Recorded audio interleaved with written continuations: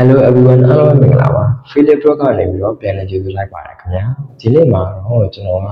Vision Pro နဲ့ပတ်သက်ပြီးတော့နည်းနည်းလေး share လုပ်ချင်ပါတယ်ခင်ဗျာ Vision Pro ကိုအပိုင်း၅ပိုင်းနဲ့ကျွန်တော်ကခွဲပြသွားမှာဖြစ်ပါတယ်အပိုင်း၅ပိုင်းနဲ့ကျွန်တော်ကရှင်းပြသွားမှာဖြစ်ပါတယ်အဲ့ဒီအပိုင်း၅ပိုင်းကဘာလဲဆိုလို့ရှိရင်တော့ကျွန်တော်တို့ Vision Pro ကဘယ်လိုအလုပ်လုပ်တယ်လဲ Vision Pro ကဘယ်လိုအသုံးပြုရတယ်လဲ Vision Pro မှာဘာတွေထူးခြားသွားတယ်လဲပြီးတော့ Vision Pro မှာဘာတွေတက်ဆင်ထားတယ်လဲနောက်ပြီးတော့ဒီ Vision Pro ကိုကျွန်တော်ရဲ့ personal အမြင်ကဘယ်လိုလဲဆိုတာကိုကျွန်တော်ကလည်းနည်းနည်းလေးပြပြချင်ပါတယ်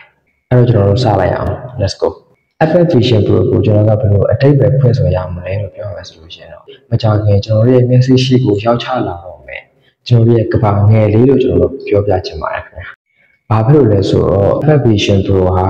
ဖုန်းတွေ PC တွေ laptop တွေအားလုံးကိုကျွန်တော်တို့ကတနေရာထဲမှာပဲစုပြီးတော့ပြည်မြင်အောင်သုံးပြရမယ်ကျွန်တော်တို့ headset တစ်ခုပေါ့လို့ပါ။ Okay အဲ့တော့နံပါတ်1အနေနဲ့သူကဘလို့အလုပ်လုပ်တယ်လဲဆိုတော့ကိုနည်းနည်းပြောပြစေ။အဒီ headset ကိုကျွန်တော်တို့ကတက်လိုက်အောင်လေ Iron Man လို့ပြောသွားမှာပါ။ဘာဖြစ်လဲဆိုတော့ဘာမှမရှိတဲ့လေဟာပြင်းထဲမှာပဲကျွန်တော်တို့လုပ်ရမယ့်အလုပ်တွေကိုလုပ်ရမှာမဟုတ်လို့ဖြစ်ပါတယ်။ပုံမှန်ဆိုလို့ရှိရင်ဖုန်းတွေ laptop တွေကန်ပြီးတော့ဖုန်းနဲ့ကျွန်တော်တို့ app တွေကိုနှိပ်ပြီးဝင်ရတာမျိုးတွေတော့မှ click နှိပ်ပြီးတော့ app တွေဝင်ရတာမျိုးတွေလုပ်ရပေးမယ်လို့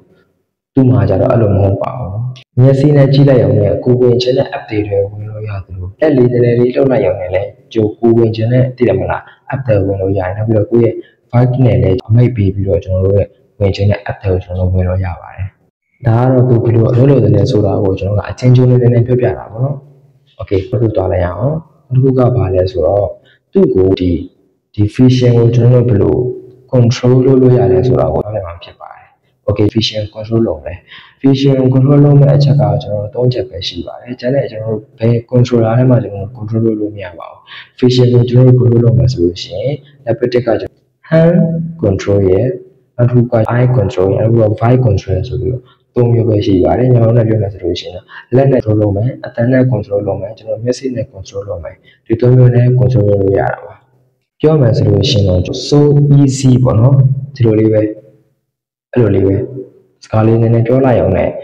လူချင်းတဲ့အထဲကိုကြောင်းပါပေါ့နော်ပြောမယ်ဆိုလို့ရှိရင်တော့ဒီပုံမှာလောက်အောင်ပါဆိုတော့ တချင်းလေးနဲ့ဆိုပြမယ်ဆိုလို့ရှိရင်လေးဒီပေါ်မှာတွေ့နေတယ်လေငါလေးအဲ့လိုဖြစ်ပါမယ်နံပါတ်3သူကဘာတွေထူးခြားသွားလဲဖုန်းနဲ့ကွန်ပျူတာတွေနဲ့ဆိုင်သူကဘာတွေထူးခြားသွားလဲဆိုတာကိုကျွန်တော်ကပြောပြမှာဖြစ်ပါတယ်ကျွန်တော်တို့ဗီဒီယိုတွေကြည့်နေရင်ကျွန်တော်တို့ပုံတွေကြည့်နေရင်ကျွန်တော် background တွေကြည့်နေတဲ့အချိန်မှာကျွန်တော်တို့က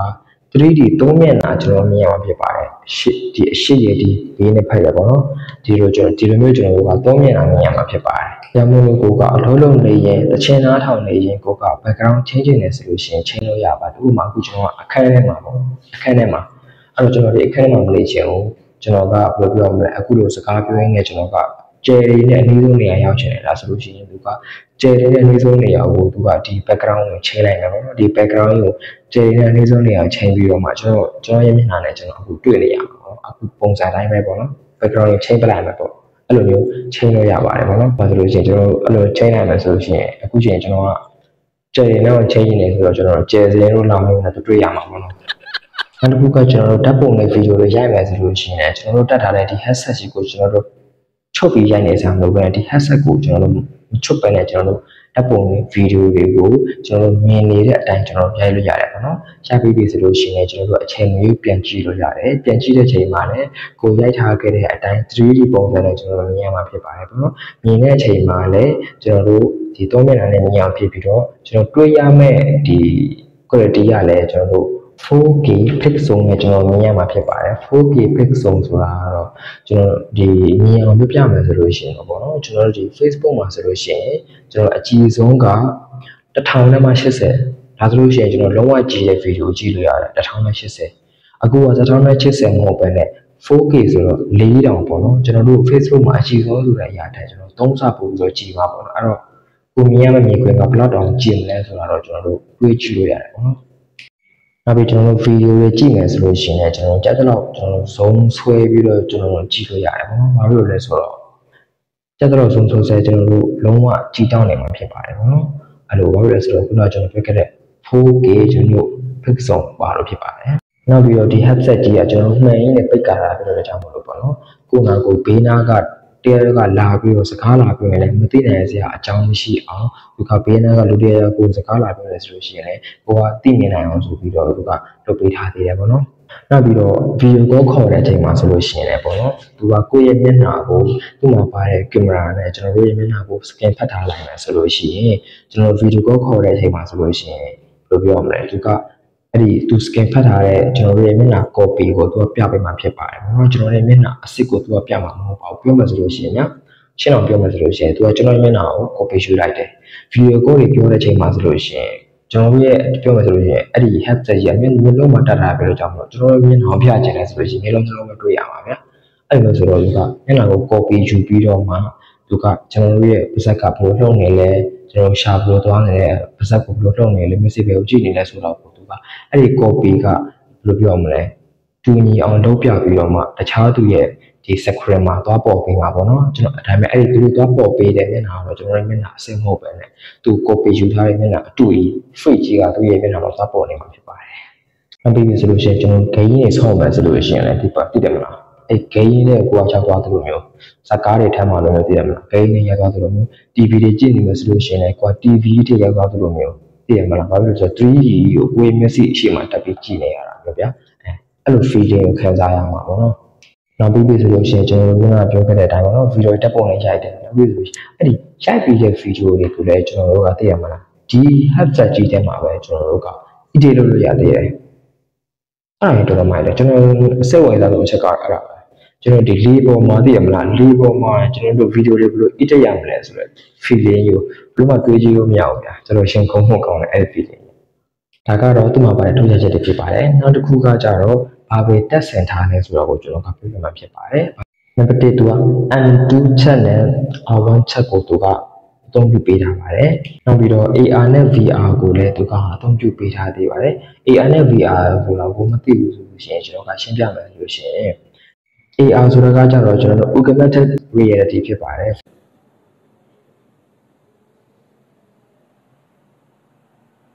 VR ဆိုတာကကြတော့ virtual reality ဖြစ်ပါတယ်ခင်ဗျာ။နောက်ထပ်အသုံးပြုပေးထားတာကတော့ကိုပိုင် Special Operation System Vision OS ကိုအသုံးပြုပေးထားသေးတာဖြစ်ပါတယ်ခင်ဗျာနောက်ထပ်ကစင်ဆာ9ခုနဲ့ကင်မရာ12လုံးပါဝင်ပါသေးတယ်ခင်ဗျာအဲ့ဒီကင်မရာက12လုံးပါဆိုလို့ရှိရင်ပြကျွန်တော်တို့ အထဲမှာက၄လုံးအပြင်မှာက၈လုံးပေါ့နော်အဲ့အပြင်မှာမှဒီအရှိကိုသူကပြထားတဲ့ကင်မရာက6လုံးအောက်မှာကျွန်တော်တို့အောက်ကိုစိုက်ထားတဲ့ကင်မရာက2လုံးပေါ့နော်ကင်မရာစုစုပေါင်း12လုံးပါပါတယ်နောက်ပြီးတော့ microphone ကကြတော့ကျွန်တော်တို့6လုံးပါပါသေးတယ်ခင်ဗျာ Oh my god ဒါကြောင့်မို့လို့လေသူကမျက်စိနဲ့ဘယ်ဟာကိုကြည့်နေလဲကြည့်နေတဲ့နေရာကိုသူကဒီ sensor တွေဒီကင်မရာတွေကနေပြီးတော့မှတစ်ဆင့်သူကချက်ချင်းသိမြင်နိုင်လူလျောက်သိမြင်နိုင်ပြီးတော့လူလျောက်သူကချက်ချင်းထောက်ပေးတာဖြစ်တယ်ပေါ့နော်နောက်ပြီးဆိုလို့ရှိရင်ကျွန်တော်ဒီ microphone ကလည်း6လုံးတော့ပါသေးတယ်ပေါ့ microphone 6လုံးပါတာပြောတဲ့ကြောင့်မို့လို့သိရမလားအတန်းနဲ့ထင်းချုံနေတာဖြစ်တယ်ပေါ့နော်နောက်ပြီးတော့ကင်မရာတွေကလည်းဆန်တလုံး view ပေါ်ပါတာကျွန်တော်လဲဟန်နဲ့ကျွန်တော်တို့ဘာတွေလုပ်နေလဲကျွန်တော်တို့ဒီရွှေ့တာဘာညာပေါ့ဒါကြောင့်မို့လို့သူကအဲ့လိုမျိုးလုပ်ပေးနေတာဖြစ်တယ်ပေါ့နော်ဒါတော့လုံးဝ amazing ပါပဲနောက်တစ်ခါတော့ audio ဖြစ်ပါတယ် audio ဘိုင်းမှာတော့ကျွန်တော်တို့တိတ်ဘာမှချွေပြီးပြောနေကြမှာမရှိဘူးဗျာအရင်သိတယ်မလားကျွန်တော်တို့ရန်ကောင်းတယ်ဗျာဒီ Apple ရဲ့ audio ဆိုလို့ရှိရင်တော့ဘာမှပြောနေကြအောင်မဟုတ်ဘူးနော် Apple ရဲ့ audio ကတော့နောက်ပြီးဆိုလို့ရှိရင်ကျွန်တော်တို့ lock လောက်တာပေါ့နော်အိတ်ဖွက်အဲ့ lock ကိုလည်းကျွန်တော်တို့ကဒီ Messi နဲ့ scan ဖတ်ရတာဖြစ်ပါတယ် Messi နဲ့ scan ဖတ်ရပြီးတော့ကျွန်တော်တို့ကျွန်တော်တို့ရဲ့ Messi ပြောဆိုလို့ရှိရင်ကိုကတော့ပိုင်းတယ်ဆိုလို့ရှိရင်ကိုယ့်ရဲ့ Messi ထဲမှာဒီ headset ကိုဖွင့်လို့ရမှာဖြစ်ပါတယ်ကို Messi မဟုတ်ဘဲနဲ့အဲ့ဒါဖွင့်လို့မရဘူးပေါ့နော် Okay အခုကတော့အခုကျွန်တော်ပြသွားတာ Apple Vision Pro နဲ့ပတ်သက်ပြီးတော့ဆောင်းတော့နေပါလဲဖြစ်သွားပြီကြည့်ရုပ်ဆိုလို့ရှိရင်ဆောင်းတော့နေပါဖြစ်သွားပြီပေါ့နော်ကျွန်တော်လည်းလေးပဲမြန်မာလိုကျွန်တော်အဆင်ပြေအောင်ကျွန်တော်ရှင်းပြပေးရတာဖြစ်ပါတယ်ကျွန်တော်ပြောပြသွားတဲ့အပိုင်းနဲ့ပြသွားပြီဆိုလို့ရှိရင်ကျွန်တော်ရဲ့ဒီ personal မြင်တဲ့ပိုင်းကျွန်တော်ပြောပြဖြစ်ပါတယ် personal အမြင်လေးနဲ့ကျွန်တော်လိုအပ်ချက်တွေကိုကျွန်တော်ဘက်ကသဘောမကျလေးတဲ့အချက်တွေပေါ့နော်အားတွေကျွန်တော်လည်းပြပြချင်ပါတယ်ဒါကျွန်တော်တို့တူတူတယောက်လေးရဲ့ဘယ်လိုပြောမလဲအမြင်ပေါ့နော်ကိုယ့်ရဲ့ကောင်လေးကိုယ့်ရဲ့ယောက်ျားကိုယ့်ရဲ့မိန်းမနဲ့အဲ့လို ဗီဒီယိုကြီးတဲ့ချိန်မှာလို့ဆိုလို့ရှိရင်တိုင်ပတ်မှာဗျာသိရမလားပိုင်နာလည်းတစ်ခုပဲဟုတ်တယ်မလားကိုယ်မှရှိရတယ်တစ်ခုပဲဆိုလို့ရှိရင်ဗီဒီယိုကြည့်တဲ့ချိန်မှာဆိုလို့ရှိရင်တယောက်ပဲကြည့်လို့ရပါနောက်တစ်ယောက်ကကြည့်လို့မရဘူးတအိမ်ထဲမှာပဲကျွန်တော်မြန်မာနိုင်ငံတွေမှာသိတဲ့တိုင်ပဲဗျာကျွန်တော်ဒါအကျိုးကျွန်တော်မြန်မာနိုင်ငံအတွက်ပေါ့နော်ပြောရတာအဲ့ဆိုတော့တစ်ခုတော့မှဒီအခုထွက်တဲ့ဈေးနှုန်းလဲဆိုလို့ရှိရင်မြန်မာနိုင်ငံအတွက်တိန်းတရာတယ်အဲ့ဒါငွေဈေးအတက်ကြလည်းရှိသေးတယ်ဆိုတော့ အိန္ဒိယကြော်ရင်လည်းကြော်သွားနိုင်တယ်ဟုတ်တယ်မလားအဲ့လိုဆိုတော့မြန်မာနိုင်ငံထဲမှာတအိမ်မှာတစ်လုံးဝယ်ဖို့ဆိုတော့မလွယ်ဘူးဗျာဟုတ်တယ်မလားသိတယ်မလားအဆင်ပြေတဲ့အိမ်တွေရှိရလေအဲ့လိုဆိုတော့ဘယ်လိုပြမလဲတအိမ်မှာတစ်လုံးဝယ်နိုင်တယ်ဆိုလို့ရှိရင်တော့တရားရောက်ကကြည့်နေမယ်ဆိုလို့ရှိရင်တရားရောက်ကချစ်ရမှာမဟုတ်ဘူးပေါ့နော်အဲ့ဒီကိုလည်းတိုင်ပတ်လက်ပဲနောက်ပြီးဆိုလို့ရှိရင်ကျွန်တော်ဒီမြန်မာနိုင်ငံအနေထားနဲ့ဆိုလို့ရှိရင်တော့အိမ်တိုင်းစီတော့ဝယ်နိုင်မှာမဟုတ်ဘူးอืม ပြောမှဆိုလို့ရှိရင်ဝင်နေတဲ့အိမ်အောင်မှပဲသိရမလားလူ9ယောက်ရှိရဆိုလို့ရှိရင်9လုံးတော့ဝင်နိုင်မှာမဟုတ်ဘူးဗျာတလုံးတရာဆိုလို့ရှိရင်9ယောက်ဆိုရင်3500ကားတစ်စီးဆောင်ရှိတလုံးအဲ့တော့ဝင်နိုင်မယ်လို့တော့မထင်ဘူးဗျာအိမ်တိုင်းလိုပေါ့နော်အခုကကျွန်တော်တို့ဒီအလွယ်တကူတည်သွားလို့မရတယ်ကွာနည်းနည်းဆိုးတယ်ဗျာဒီလားဘယ်လိုပြရမလဲဖုန်းတွေပါလေလို့မျိုးသိတယ်မလားအဲ့တဲ့ကောက်ထပ်သွားလို့ရတဲ့အရာတခုမဟုတ်ဘူးဗျာသူအကြီးပဲအကြီးပဲဆိုတော့အလွယ်တကူသွားလို့မရဘူး ဒီကျွန်တော်ဒီ laptop တို့ computer တို့လိုပဲအဲ့တဲ့ထဲဆောင်မှရမယ်ပေါ့နော်နောက်ပြီးတော့သူ့ရဲ့ဒီကိုယ်တွေကလည်းလေးတယ်ဗျာကင်မရာနဲ့ဆက်စလုံးပါတယ် audio ပါညာဆိုတော့တော်တော်ကြီးတယ်ဗျာသူ့ကလည်းတော်တော်ကြီးတယ်ဆိုတော့ကျွန်တော်ထင်တာပေါ့နော်ဒီနေ့မှလူတယောက်ကအလို့ရင်၈နာရီရှိတယ်ဆိုတော့၈နာရီလုံးကျွန်တော်တို့ကဒီဟာရကျွန်တော်တတ်ထားနိုင်မှာမလား အဲ့တခုကျွန်တော်တွေးရမှာပေါ့နော်တနေ့ကုန်လွတ်လို့မယ်ဆိုလို့ရှိရင်ရောဒီဟာရကျွန်တော်တနေ့ကုန်ပြတ်ထားနိုင်မှာမလားတခြားမပြောနဲ့ကျွန်တော်တို့ mask တို့ကျွန်တော်မျက်မှန်တို့တက်တာတော့ပဲကြာလာရင်ကျွန်တော်နားတွေကြိုက်လာတယ်နားရိုးတွေညောင်းလာတယ်ဗျာကြာလာရင်ဒီကမှာမျက်ခုံးတွေညောင်းလာတယ်ဆိုတော့ဒါကြီးကိုကျွန်တော်တနေ့ကုန်တက်ထားမယ်ဆိုလို့ရှိရင်ရောအဆင်ပြေပါမလားအဲ့ဒီခုကျွန်တော်တို့အပေးဝင်သေးတယ်ပေါ့နော်နောက်ပြီးဆိုလို့ရှိရင်တော့ဒါတော့ကျွန်တော်တွေးတာပေါ့နော်အဲ့လိုဓာတ်ရိုတက်ပြီးပြီဆိုလို့ရှိရင်ညာသေးလားပထမဆုံးဘယ်သူမှမဝယ်သေးအဲ့လို ဝယ်တဲ့သူမများသေးခင်မှာဆိုလို့ရှိရင်ပေါ့နော်ဓာတ်ရိုတက်ပြီးတော့ကျွန်တော်တို့လွတ်လွတ်နေမယ်ဆိုလို့ရှိရင်ကျွန်တော်တော့ဖြစ်နေမှာဗျာဘယ်လဲဆိုတော့လီပေါ်မှာသိတယ်မလားအဲ့ဒါတက်ပြီးတော့ကိုကတော့ကိုကလည်းကိုတော့ဟုတ်နေတာပဲအမေသူများတွေ့တဲ့အချိန်မှာသူများမြင်တဲ့အချိန်မှာသိမလားရင်ကုန်မြမှန်ရင်တက်ပြီးတော့ဆိုတော့ကျွန်တော်တော့ဖြစ်နေမှာအဲ့ဒီကိုလည်းရှိတယ်ပေါ့နော်အခုကကျတော့ story သူ့ရဲ့ story ကဘယ်လောက်ဆန့်နေဆိုတော့မသိသေးဘူးပေါ့နော်ဒါကကျတော့ထွက်လာမှသိမယ်ပေါ့ဒါကကျတော့ ဘယ်လိုပြောမလဲကျွန်တော်ရဲ့အမြင်အဆင်မပြေတဲ့အရာအမြင်အရအဆင်မပြေတဲ့အရာပြောတာမဟုတ်ဘူးเนาะကျွန်တော်မသိသေးတဲ့အရာပေါ့ story ဘယ်လောက်ဆက်လဲဆိုတော့မသိသေးဘူးနောက်တစ်ခုက battery battery က2နာရီပဲခံတယ်လို့ပြောတယ်2နာရီပဲဆိုတော့ဒီလူတွေအကုန်လုံးကတရက်မှာ6နာရီကနေပြီးတော့10နာရီထိကျွန်တော်တို့ဖုန်းတွေသုံးရတာများတယ်အဲ့တော့ဒါကြီးထွက်လာမယ်ဆိုလို့ရှိရင်ကျွန်တော်တို့6နာရီကနေ10နာရီသုံးတဲ့သူတွေပဲဆိုလို့ရှိရင်ဒီ headset ကတစ်နေ့မှာ sorry တစ်ခါအားသွင်းရင်2နာရီပဲခံတာဆိုတော့ reflection နဲ့ပတ်သက်ပြီးတော့နည်းနည်းပြဿနာရှိတယ်ဗျာနောက်ပိုင်းထွက်လာပြီးမှ accurate တွေလုပ်ရင်လုပ်ရင်လုပ်ရင်လည်းမှ flexibility တွေပိုခံလာမယ်ဆိုလို့ရှိရင်ပြောတတ်သေးဘူးပေါ့နော်ဒါတော့ဆက်လာမှသိမှာပေါ့ Okay အဲ့တော့ဒီဗီဒီယိုလေးကတော့ဒီလောက်ပါပဲအခုချိန်လေးကျွန်တော်ဗီဒီယိုကိုကြည့်ပေးခဲ့ကြတဲ့တီဦးတယောက်ချင်းစီကိုကျွန်တော်ကကျေးဇူးအများကြီးအများကြီးတင်ပါတယ်ခင်ဗျာ Okay ခဏခဏခဏခဏ နော်ပြောတာရှိအပိုင်းဆိုတော့ဒီဗီဒီယိုကြည့်ပြီးပြီဆိုလို့ရှိရင်တက်တက်ရောဘယ်လိုမျိုးတက်ရရပါလဲပြီးတော့တင်ကရောဘယ်လိုမျိုးအတွေးဝင်သွားလဲတင်ဆိုလို့ရှိရင်ရောဘယ်ဖြစ်မှာလားတောင်းလို့တင်ဒီဟာကိုဘယ်လိုမျိုးမြင်လဲဆိုတဲ့အရာလေးတွေကိုကျွန်တော်ဒီ comment မှာရေးပေးခဲ့ပါအားလုံးကိုကျေးဇူးတင်ပါတယ်ဒီဗီဒီယိုလေးကိုကြည့်နေတဲ့တက်တယ်ဆိုလို့ရှိရင် like အဲ share subscribe လုပ်တာပေးဖို့ကို Felix ကတောင်းဆိုပါတယ်ခင်ဗျာအားလုံးကိုကျေးဇူးတင်ပါတယ်နောက်တဲ့ဗီဒီယိုမှာတကယ်တော့တွေ့ဆုံချင်ပါသေးတယ်ခင်ဗျာအားလုံးပဲ bye